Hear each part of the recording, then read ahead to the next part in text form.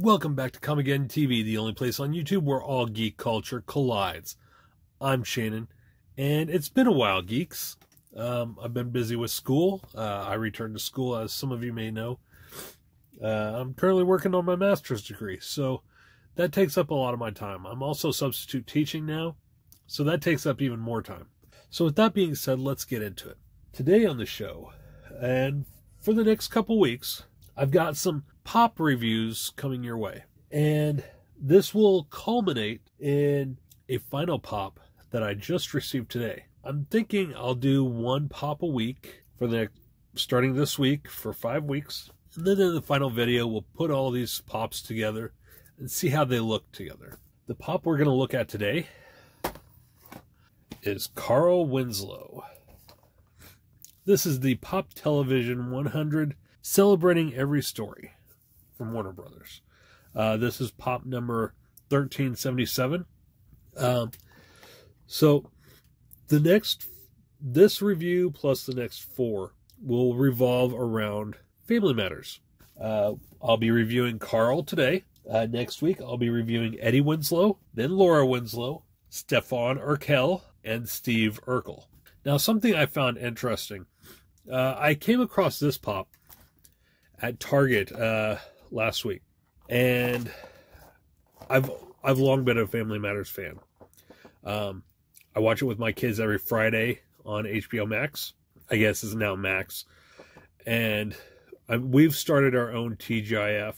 Uh, we started this like two, maybe three years ago. I think it was two years ago, where we find the old TGIF shows and we spend two hours just watching them. We'll order dinner and we'll watch our own personal TGIF lineup. Uh, this usually starts with Family Matters on HBO Max, goes into Sister Sister on Hulu, Sabrina the Teenage Witch on Hulu, and then ending with Boy Meets World on Disney Plus. And my kids love Family Matters just as much as I do. Uh, for the longest time, I could not find Family Matters anywhere on cable TV. I know they aired it early in the mornings on BET.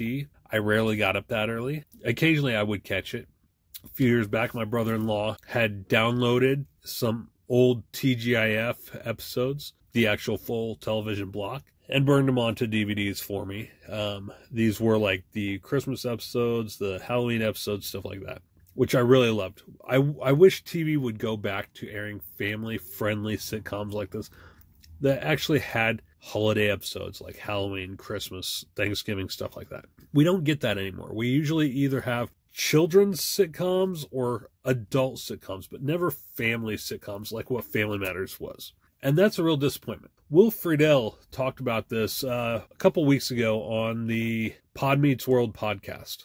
And I, it's just, it's something I wish television would return to. I know we're all about streaming nowadays, but if brought a network actually aired a programming block of family friendly television like T- the old TGIF, not what TGIF has turned into over the years or that they've tried to do with it, but the old TGIF with family friendly sitcoms, you know, Perfect Strangers, Full House, Family Matters, Boy Meets World, Sabrina, the list goes on and on. I think they would receive ratings equal to, if not superseding those that they got in the 90s at the height of its popularity. But that's just me. Without further ado, let's go ahead and get into this review.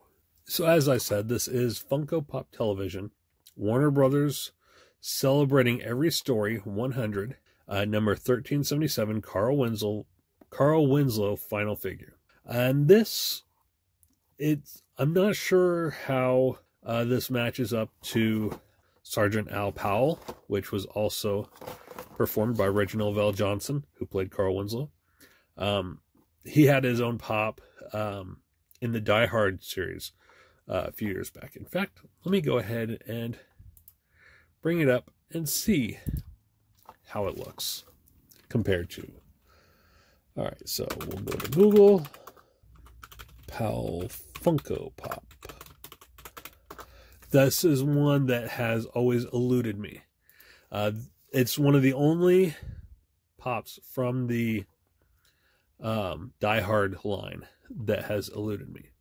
So it does look like they changed Reginald VelJohnson's head um, from the Al Powell pop to this one.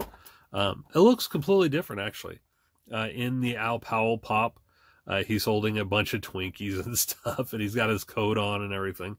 Uh, they may have reused the bottom portion. I'm not sure. Maybe just the mold and resculpted the um, torso and arms. Because um, the bottom does look very similar. But I don't know. I, I'm unable I've been unable to find the Al Powell. I don't have him just yet. And forgive me guys, I did wake up this morning uh, with a stuffy nose, severely congested uh, due to the weather changing back and forth between hot and cold. I'm in central Illinois. Uh, the other day it was 70 degrees. Today it's like 44 degrees. I guess it's like 53 right now. But yeah, the the weather change has done nothing for my for my allergies and my congestion and everything. So just gonna have to deal with it. But let's take a look at the box. You got the Warner Brothers 100 years um, type uh, logo and stuff here. Uh, you got Funko, Pop Television. Uh, here's the side. Carl Winslow, 1377. Here's the other side. This is usually how I display my Funko Pops. Um, this side out. Uh, which, at the end of this, I may just take you on a tour of my collection. Um, we'll see. Maybe I'll save that for another day. But here's the back. Um, as you can see, you got the Family Matters logo there. You got Carl Winslow, Eddie Winslow, Laura Winslow, and Steve Urkel. Now, they do actually have um, Steve Urkel listed as 1380. However, that's I, I think they double numbered because briefly we'll bring in Stefan Urkel, which is 1380. Uh, and they have Stefan Urkel listed as Steve Urkel. But he's not Steve Urkel, he's Stefan. Um, in fact, in the later seasons, he became his own separate person. Um, we'll talk more about that when we get to Stefan and Steve. So anyway, let's go ahead and open the box and take a look at that at this pop vinyl. Okay, so as usual, this pop does come in a clamshell. Uh, it is the part with the latches. So you just pop those, pull out Carl, and we'll move this to the side. So Carl was always my favorite character on Family Matters. Um,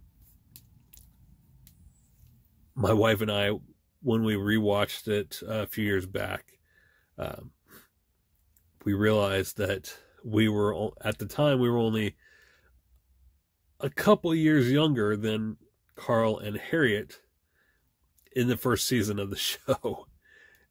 And that made us feel old then. And now we're as old as Carl and Harriet um, a couple seasons into the show.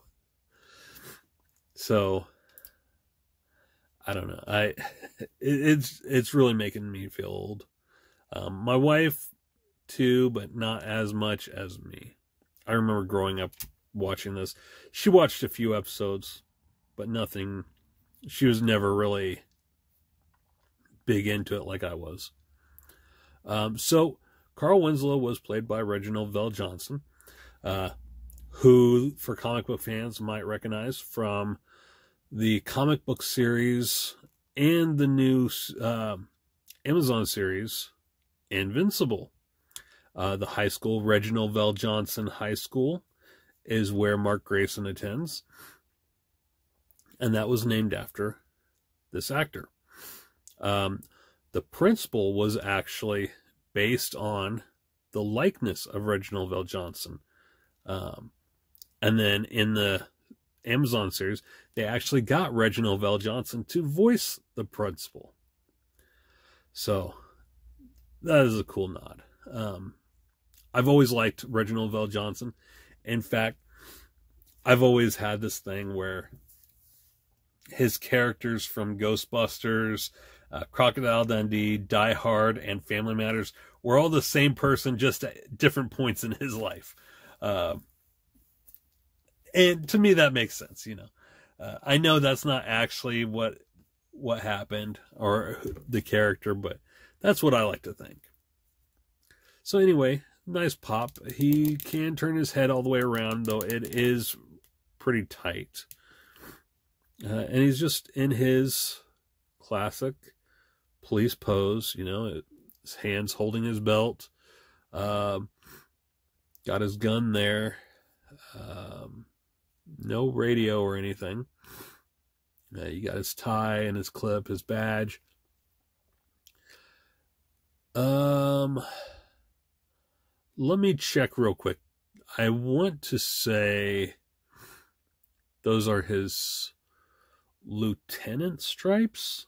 I'm not fully um, knowledgeable about stripes, so let me check that real quick. Okay, so these are his sergeant stripes. Uh, it would appear that this would be like the first couple season, first second season, because uh, I think later on, uh, third season he became no, he became lieutenant in the season that we are currently watching, which is about midway through the series. He later becomes captain, uh, but this appears to be Carl Winslow from earlier in the series, as noted by the full head of hair with just the widow's peak. And then he's not quite as overweight here. Uh, for those of you who don't know, Family Matters was a spinoff of another, another TGIF show, Perfect Strangers. It was meant to be Harriet's spinoff. It was going to be Jo Marie Payton's series as the character Harriet uh, and her husband Carl. Uh, they both were in Perfect Strangers. I want to say they lived in Larry and Balki's apartment building. Uh, Harriet was also the ele- elevator operator uh, at the uh, Chicago newspaper that they worked at until her position became obsolete. Eddie had been born already in the series in Perfect Strangers. I'm not sure about Laura though.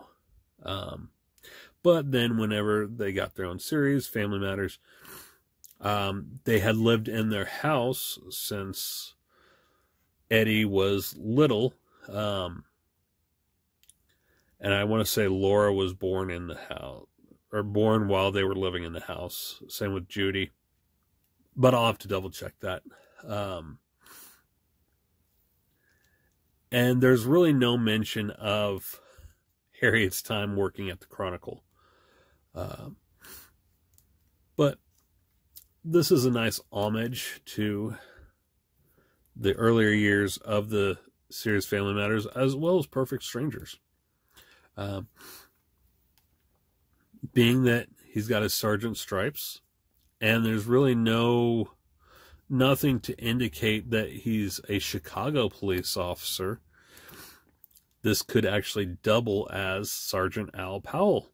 Um, if they want, if Funko wanted to re-release this um, sometime, um, maybe put like some uh, dirt or dust or whatever on him to indicate the end of the movie. Um, they most certainly could re-release him as Sergeant Al Powell. Very nice pop. I really like it. Um, as soon as I saw this in the collection at Target, I knew I had to get him. Um, long time Family Matters fan. Um, I I grew up watching the show. It's it's comfort food for me. It was it's sad that Jo Marie Payton ended up leaving the show because um, of contract disputes and everything, and what because of the direction the show went, um, basically focusing around Steve Urkel, who didn't even show up in the series until later in the first season. Uh, it was about halfway through the first season. He was supposed to be a one off character. Fans went crazy for him. Um, and that's how it is. Uh, I do wish Funko would have uh, added Harriet, um, uh, Grandma Winslow, or Estelle, I mean, and Rachel into the collection too. As of now, all we've got are Carl, Eddie, Laura, Steve, and Stefan. Um, it'd be nice to have the whole family there. Uh, as well as Lil Richie. I'm not sure about 3J though. He showed up in, I want to say, the last season. Maybe the last two seasons. I could be wrong. I haven't gotten to that point on the rewatch yet. But I really like the detail of this figure. Um, I'm going to love displaying him with the other characters from Family Matters. So I hope you guys enjoyed this video. Um, if you're at Target or Walmart or wherever else that sells Funko Pops and happen to come across one of the Family Matters Pops, I highly suggest picking them up. Uh, Carl's head, uh, I forgot to mention, it is not hollow um, like a lot of Pops were early on. It is pretty solid. Um, so, I mean, it's probably the heaviest part of him. Um, and he he stands well without a base. So anyway, tell me what your favorite episode of Family Matter was in the comments below. I've been Shannon. This has been Comicgeddon TV. Take care, geeks. If you enjoyed that video, make sure to check out one of these two playlists for more videos just like the one you just watched. I've been Shannon. This has been Comicgeddon TV, the only place on YouTube where all geek culture collides. Take care, geeks.